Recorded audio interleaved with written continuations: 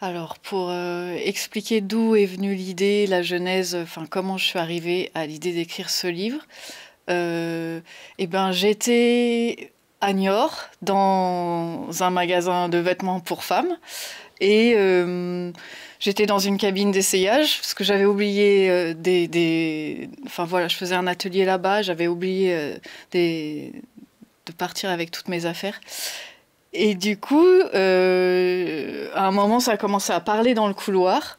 Et, euh, et voilà, je me suis assise. Et l'idée euh, est venue comme ça. Je me suis dit, c'est un super endroit.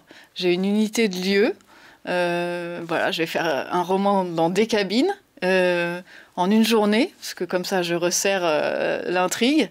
Et puis, avec beaucoup de personnages, parce qu'il y a un va-et-vient euh, permanent et, et, puis différentes clientes. Quoi. Donc c'est assez représentatif de, de, de, toute la société, de toutes les femmes qui, qui viennent s'acheter des vêtements. Et donc voilà, elle l'idée, elle, elle, est née dans les cabines, euh, enfin carrément dans les cabines. Quoi. Dans ce roman, il y a donc euh, oui, plusieurs personnages. Il y a une horde de jeunes filles. Ça, c'est les premières qui arrivent, qui mettent euh, vraiment euh, un bazar incommensurable.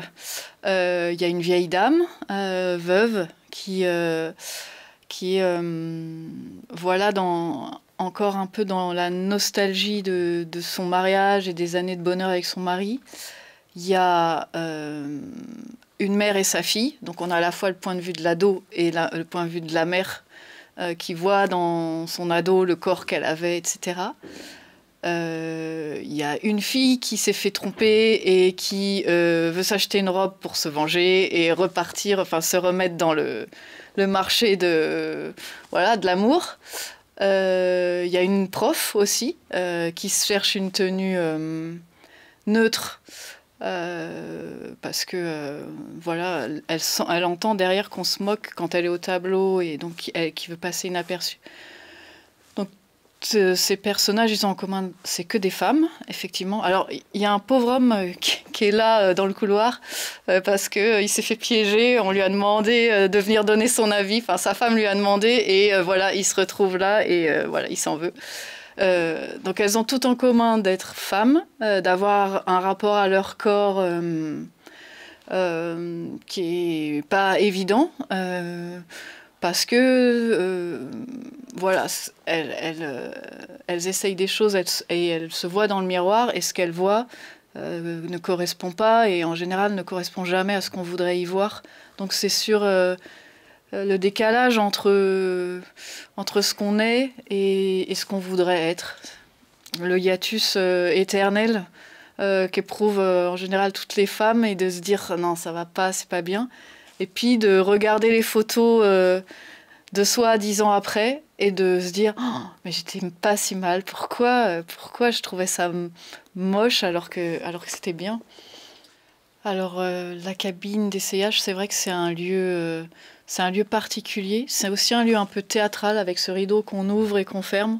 On rentre dans une tenue, on sort dans une autre, puisque là le miroir, enfin, est au bout. Euh, il n'y a pas de miroir dans les cabines, donc elles sont à chaque fois obligées de rentrer et de sortir.